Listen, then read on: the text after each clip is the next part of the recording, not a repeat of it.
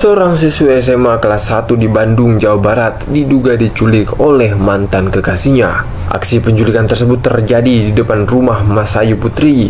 Kejadian tersebut terekam kamera CCTV dan dibagikan di akun Instagram Mas Ayu Putri 22. Diduga pelaku penculikan berjumlah dua orang, di mana satu orang bertugas menculik dan satunya lagi mengendarai sepeda motor. Peristiwa penculikan tersebut terjadi pada Minggu 7 Mei 2023 malam.